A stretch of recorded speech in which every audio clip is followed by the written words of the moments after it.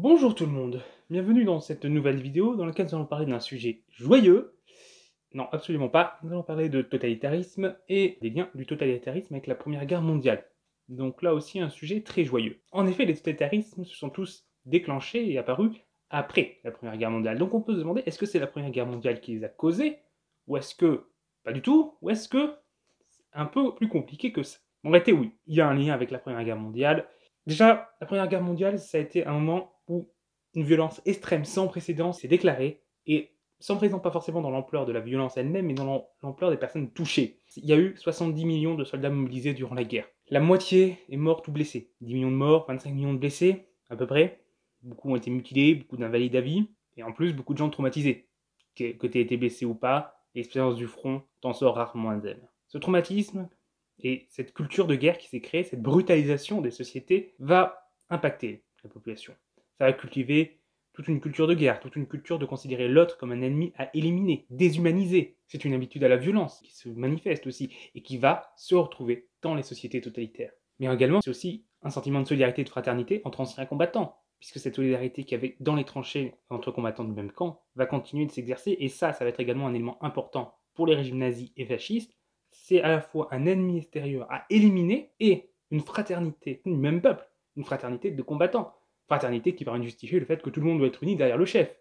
Hein, c'est un peu le pseudo-unité de la nation, unité de la nation derrière une personne qui se prétend être l'incarnation de la nation, que ce soit le Duce ou le Führer. La Première Guerre mondiale a aussi impacté les civils. Ça a été une guerre totale. Déjà, ça a impacté par l'idée que l'ensemble de la société devait s'engager pour la survie de l'État. Et ça, c'est quelque chose aussi qui va se trouver dans le totalitarisme, l'idée d'un État total auquel la société doit être totalement acquise et totalement soumise. Des choses qui pouvaient se retrouver dans les sociétés de la Première Guerre mondiale. Tous, les éléments de propagande aussi. Ça aussi, c'est présent. La propagande existait déjà avant, mais elle va prendre une grande ampleur durant la Première Guerre mondiale. Nouvelles méthodes de propagande vont, se développer. Et ça, ça pourrait être repris par les sociétés totalitaires qui vont l'exacerber. Également, toute cette mentalité de considérer l'autre comme un ennemi à éliminer, déshumaniser, ça va toucher aussi les civils par la propagande. Et ça va aussi poser des graines dans, dans les sociétés d'après-guerre. Maintenant que nous avons vu un peu cet aspect général, voyons un peu rapidement pour les trois principaux totalitarismes des années 20 à 1940, ceux que nous avons étudiés en cours, donc l'URSS de Staline, le régime mussolinien et le régime nazi d'Adolf Hitler. En URSS, c'est un pays où la violence politique était fortement présente. Sous le tsar, il y avait une répression des opposants, il y avait des camps de prisonniers qui existaient déjà avant. Plusieurs responsables de la révolution russe sont passés par des camps de prisonniers, ont été arrêtés. Voilà, il y a une violence politique qui s'exerce dans ce pays. Donc déjà, ça pose certaines bases. Mais ce qui va faire tomber le régime tsaride, c'est la Première Guerre mondiale. Bon, était déjà contesté avant, mais la Première Guerre mondiale va l'achever et va le faire tomber comme un fruit mûr.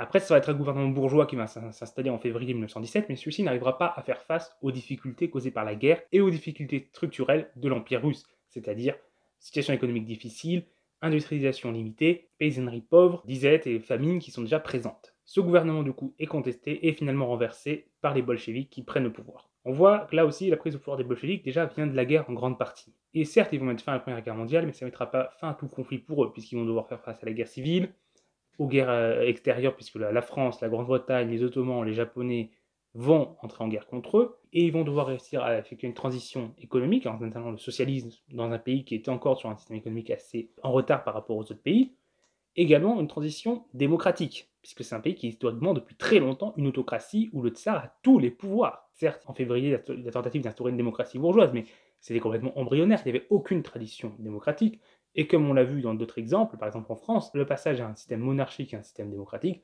ça ne se fait pas facilement. Donc, les bolcheviks vont échouer à le faire.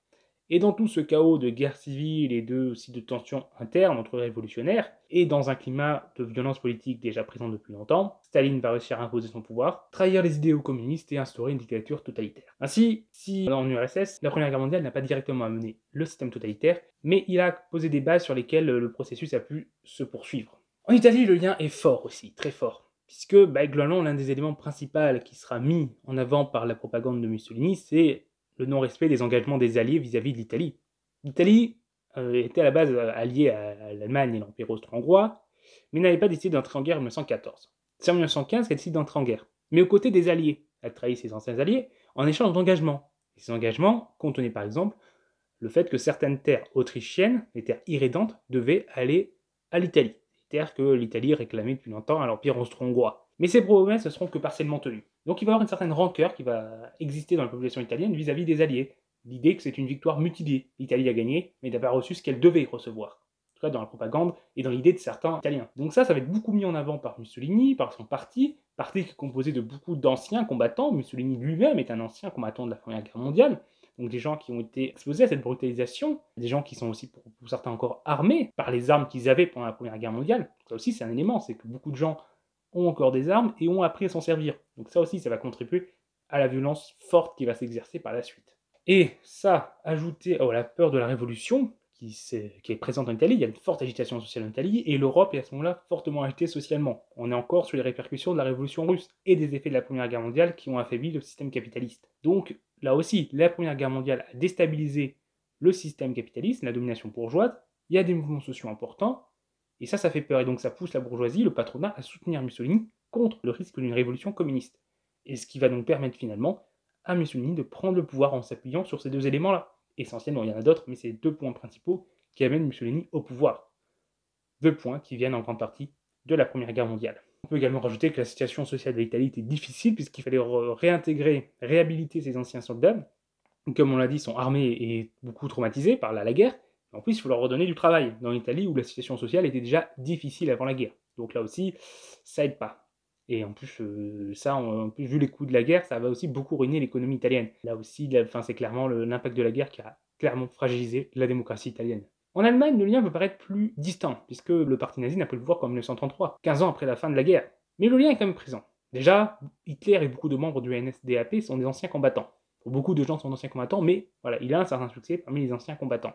Là aussi, c'est un lien avec la Première Guerre mondiale. Mais il faut aussi également ne pas oublier que Hitler s'appuie grandement sur le fort ressentiment provoqué par le traité de Versailles et ses clauses, dures et humiliantes pour l'Allemagne, ainsi que sur la politique française des années suivantes, par exemple l'occupation de la Roure en 1923, occupation pendant laquelle Hitler va devoir faire son premier coup d'État, enfin son tentative de coup d'État, le push de la brasserie. Donc on voit que c'est cette politique-là qui est issue de la Première Guerre mondiale qui sert de justificatif euh, en partie aux idées nazies. Il y a l'antisémitisme qui est un pilier très important, ça c'est un autre pilier quand même qui est non négligeable. Et il va également s'appuyer sur l'idée que les politiques ont trahi l'armée, qu'elle n'aurait pas dû perdre, que c'était une victoire volée. Il y a eu la victoire mutilée des Italiens et là la victoire volée de l'Allemagne.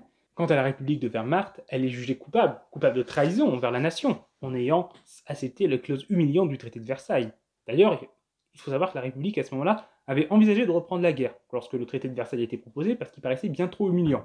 Mais finalement, elle y a renoncé, et elle est fortement critiquée pour ça. Donc on voit bien que la Première Guerre mondiale a en partie amené le régime nazi, et qu'il est fortement utilisé par ces deux totalitarismes d'extrême droite, que sont le fascisme et le nazisme, dans leur propagande. Si pour conclure, on peut voir que ces trois, les trois régimes totalitaires principaux des années 20 et 40 sont nés en partie des suites de la Première Guerre mondiale. Mais si, évidemment, il y a d'autres causes. Des sociétés déjà violentes, fortes tensions sociales et, et politiques, des tensions ethniques, des pays qui sont encore récents dans leur unité. L'Allemagne et l'Italie, c'est des pays qui sont encore tout jeunes à ce moment-là. Des problèmes de crise économique, de famine, de crise politique, la peur de l'extension communiste aussi qui va jouer en Allemagne et en Italie. Mais on voit que la Première Guerre mondiale a beaucoup joué à déstabiliser encore plus ces sociétés et à y poser les graines qui ont amené au totalitarisme finalement, même si ce n'est pas un automatisme. Il y a des pays qui étaient aussi assez fragiles, les pays d'Europe de l'Est qui étaient tout récents, qui ont été impactés euh, par la, Première Guerre mondiale et qui n'ont pas plongé forcément dans le totalitarisme. Même si on voit beaucoup de régimes autoritaires pendant la période des années 20 à 40. Tous n'ont pas été euh, totalitaires, mais voilà, il y, avait, a eu la Grèce, il y a eu la Pologne, il y a eu euh, également l'Espagne, plus tard, qui ont eu des régimes autoritaires, non totalitaires, mais avec des points communs. Ces effets également de la Première Guerre mondiale peuvent prendre du temps à aboutir au totalitarisme. En URSS, ce n'est qu'à partir de 1928 qu'on est vraiment dans un régime totalitaire, quand Staline prend les pleins pouvoirs. En Allemagne, c'est qu'à partir de 1933 que les nazis, arrivent au pouvoir, et il faut quelques mois, un peu encore, donc on peut dire au début 34 que c'est un régime vraiment totalitaire. Et en Allemagne, au final, c'est plutôt la crise de 29 qui a achevé d'amener le totalitarisme au pouvoir, en plongeant le pays déjà fragilisé par le traité de Versailles. Donc la Première Guerre mondiale avait posé les, bases qui ont fait que la crise de 29 a été aussi dévastatrice. Mais la crise de 29 a prolongé le pays dans une profonde crise économique avec des millions de chômeurs. 6 millions de chômeurs en 1932, plus 8 millions d'Allemands à temps partiel. C'était vraiment une situation terrible. Et c'est à partir de ce moment-là que le parti nazi a connu une très forte explosion politique. On a connu une première au début des années 20 qui s'est arrêtée en 1923. À partir de 1929, son ascension vers le pouvoir va se déclencher. Donc voilà, c'est terminé pour cette vidéo, j'espère qu'elle vous a intéressé. Si c'est le cas, n'hésitez pas à le dire en commentaire, à mettre un pouce bleu, ça nous aide beaucoup. Vous pouvez également partager la vidéo, ça aussi, ça aide beaucoup. Et vous pouvez vous abonner pour ne pas rater les prochaines vidéos. Au revoir tout le monde